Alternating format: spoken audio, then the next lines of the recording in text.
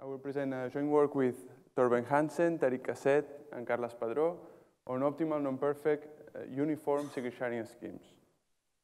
So uh, first I will give an introduction to secret sharing, and then I will present our results. That is a new framework for the study of non-perfect schemes, bounds and constructions, and results on optimal uniform non-perfect secret sharing schemes.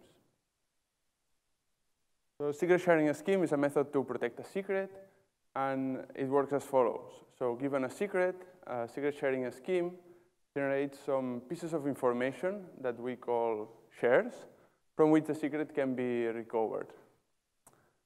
So for every subset A, we say that uh, if the secret can be recovered from the shares with indices in A, we say that A is authorized. While if uh, these shares does not provide any information about the secret, we say that A is forbidden. A scheme is said to be perfect if uh, all subsets are forbidden or are authorized. And we define the access structure as the family of authorized subsets. In this work, all the schemes are unconditionally secure, so the security does not rely on any computational assumption. So secret sharing schemes were introduced by Shamir and Blakley in 1979, and the original motivation was to safeguard keys, but soon appeared to be a very important cryptographic primitive. And now they have applications in many areas as multi-party computation, attribute-based encryption, threshold cryptography, oblivious transfer. And for using schemes in these applications, we need of efficient schemes. And in particular, in many of these applications, we need the schemes with homomorphic properties. So in this work, we study the efficiency of the schemes, and we look for linear schemes with uh, small shares. So but what do we know about the size of the shares? So we know that in a perfect secret sharing scheme, the size of each share must be greater or equal than the size of the secret. And we know also that uh, for certain access structures, it's possible to construct linear schemes in which the size of each share is the size of the secret, for instance, in the threshold case. But in general, it will not be satisfied. So by the methods we know, if we construct a secret sharing scheme, the size of the share will be, in general, much bigger than the size of the secret. So in order to find more efficient schemes, we studied non-perfect schemes. In these schemes, some subsets uh, are not forbidden nor authorized and may have partial information about the secret.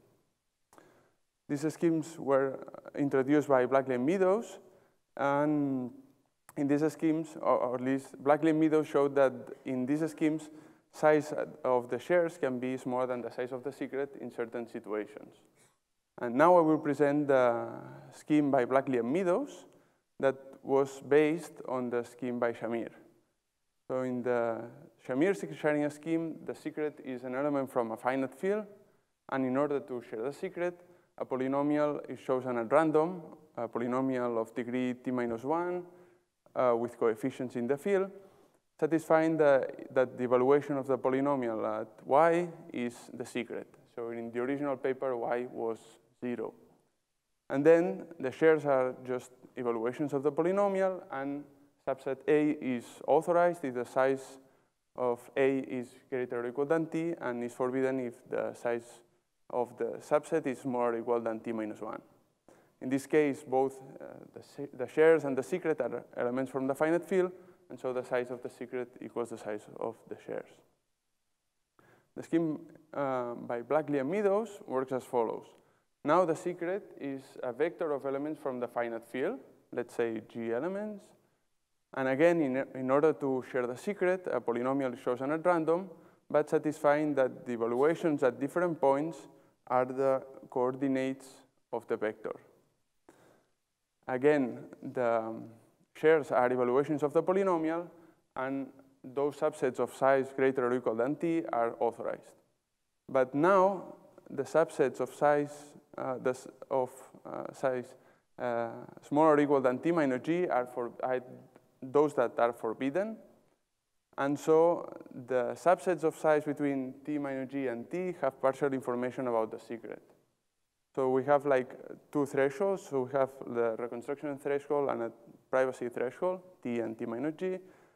And we lose the perfectness of the scheme, but the size of each share um, is the size of the secret divided by G. In a non-perfect scheme, we, uh, the gap of the scheme is the minimum distance between authorized and forbidden subsets. And in this scheme, the gap is G. So in this threshold case, uh, Blakley and Meadows presented this scheme that was called ramp scheme and is optimal. And this scheme had applications in secure multi-party computations and many other areas. But for the general case, if we cannot describe the structure of the scheme by means of these two thresholds, uh, we have other open problems. So there were uh, several results uh, trying to extend the notion of ideality to the non-perfect case, and also trying to extend the connections with matroids. Results on the bounds of the size of the share. Uh, so Ogata et al. showed that the size of each share divided by the size of the secret must be greater or equal than 1 over the gap. That's why the scheme by Blakley and Meadows is optimal. And there are also works on the um, search of efficient schemes for uh, non-perfect uh, secret sharing schemes. So. Oh, yeah. So we saw that the techniques uh, for a non-perfect case and for the general non-perfect case are far less developed than the ones for a perfect case because we lack of an appropriate framework to study this problem. And we lack, of, uh, we lack an appropriate framework to extend the techniques for perfect schemes to non-perfect schemes, to describe precisely their structure, and to construct useful linear schemes. So in this work, we pre present a new framework. Um, this framework um, is based on information theory, so the definition we consider of secret sharing is, from informa is information theoretic, and we model the shares as uh, discrete random variables. So for us, a secret sharing scheme on a set P that we call the set of participants is a collection of discrete random variables. Um, the first random variable is the one by, that describes the secret, and the ones, the other ones describe the, the, other, the shares of the participants, such that the entropy of the secret is bigger than zero. Here, the entropy is the Shannon entropy. And the mutual information between the secret and the shares um, is the entropy of the secret, which means that the participants can recover the secret. We say that the subset A is authorized if the mutual information between the secret and the shares of A is the entropy of the secret, which means that A can recover the secret, and a subset is forbidden if the mutual information is zero. But the description of the family of authorized subsets and the family of forbidden subsets sometimes is not enough. And so we need a more accurate description of the, of the structure of the scheme, measuring the information known about the secret. So we, define, we describe the structure of the schemes by means of the uh, uh, access function. So an access function on a set P is just a monotone increasing function from the power set of P to the closed interval between 0 and 1. And for every secret sharing scheme, we can define an access function. And this access function is, is defined in the following way. Oh, um, so um, of uh, subset A is the mutual information between the secret and the shares of A. And is divided by the entropy of the secret to normalize the function. So this function measures the, informa the information known about the secret for, for every subset. Um, it's easy to see that phi of uh, P is, is 1 and phi of the empty set is 0. And if a scheme is perfect, then this function phi only takes values 0 and 1, and so it's, it's Boolean. And there were similar ideas in the works by Kurosawa et al. and Ishai Kushilevitz and Strulovich and, but we generalize their ideas. So we saw that every secret sharing scheme defines an access function, but which access, which access functions admit sharing schemes. So we showed that there exists a secret sharing scheme for every access function. Our proof is constructive, And for every subset A, we construct a scheme that shares uh, phi of A fraction of the secret. And this is a similar idea that was in the works of Ito et al. and Ishii et al. And it extends the result of Ito, Saito, and Nishizeki to a non-perfect case. And we give, an, uh, for every rational access function, that is a, a, function that only takes rational values, we, we provide a linear secret sharing scheme, but we need nonlinear secret sharing schemes for non-rational access functions.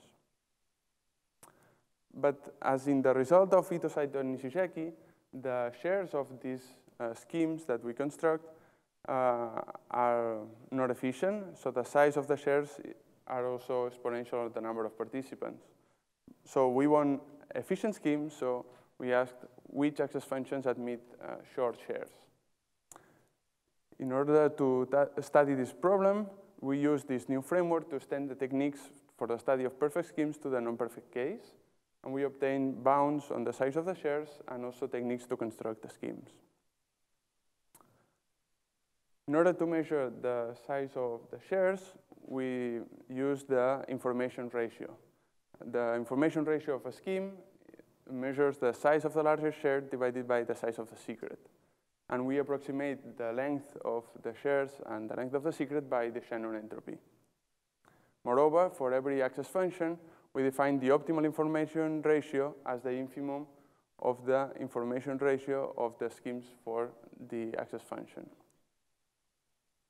So for, in, for perfect schemes, we have many uh, results uh, for, and we have general lower bounds that use the Shannon inequalities and polymatroids, and also uh, results that use non-Shannon inequalities, and also results for uh, linear secret sharing schemes. But for the non-perfect secret sharing schemes, we only, only have this general lower bound. That is that the optimal information ratio is greater or equal than 1 over the gap. So we, we propose a new lower bound uh, on the optimal information ratio that, that we call epsilon, and it is based on the Shannon inequalities. And we use polymatroids, and we show that this lower bound is tied for certain families of access functions. It improves the previous general lower bound, and it has interesting combinatorial properties with respect to operations like the dual and minors. Moreover, we also present uh, ways to construct schemes. So um, in order to so we concatenate linear secret sharing schemes in order to construct linear schemes for convex combinations of their access functions. That is, given some uh, schemes sigma 1, sigma m, linear secret sharing schemes with access functions phi 1, phi m, and given uh, psi, that is a um, a convex combination of, of the access functions, we can construct a secret sharing scheme for psi for which the information ratios is more equal than the, uh, the convex combination of the information ratios. So we have general techniques for the study of uh, non-perfect secret sharing schemes. So we have lower bounds and constructions, and we apply them to a family of non-perfect uh, schemes that is the family of uniform non-perfect secret sharing schemes. We say that an access function is uniform if its values uh, depend only on the size of the subset.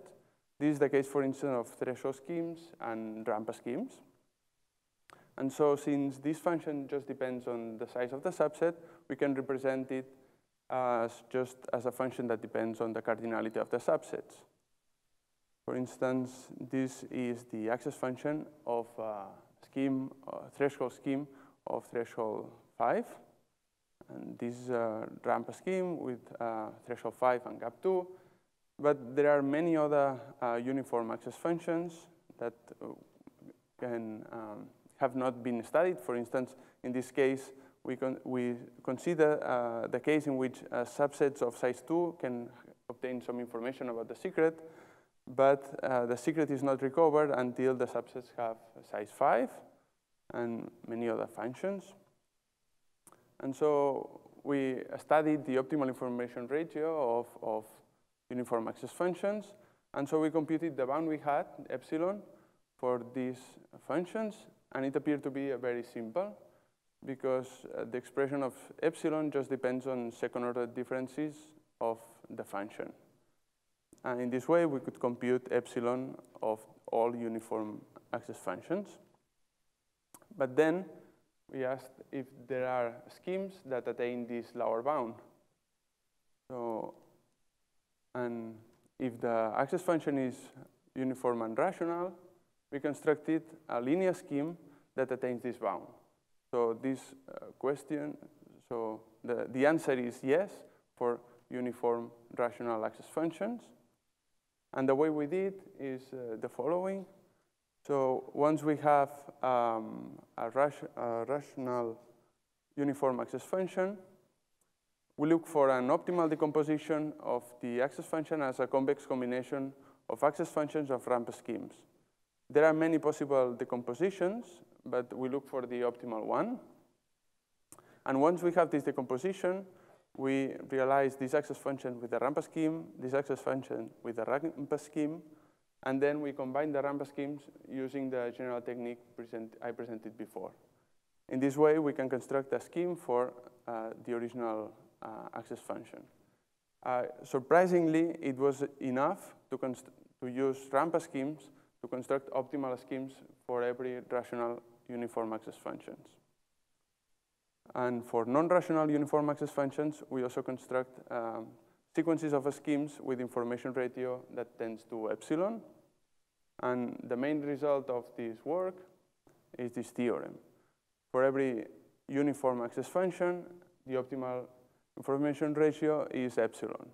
And moreover, if the access function is rational, then it admits an optimal secret sharing scheme that is linear. This result has uh, several corollaries, and one of those is that the Shannon inequalities are enough for computing the optimal information ratio in the case of uniform access functions. And this was something uh, already observed by Chen and Yang. So in this work, we present a new framework for the study of uh, non-perfect secret sharing schemes. We present newer lower bounds on the information ratio, and we present uh, optimal secret sharing schemes, and we compute optimal information ratio for uniform access functions. The future directions after uh, this work are the optimization of uh, schemes for other families of access functions, to study the restrictions on the size of the secret for these constructions, and to find new general lower bounds on the size of the share. And thank you for your attention.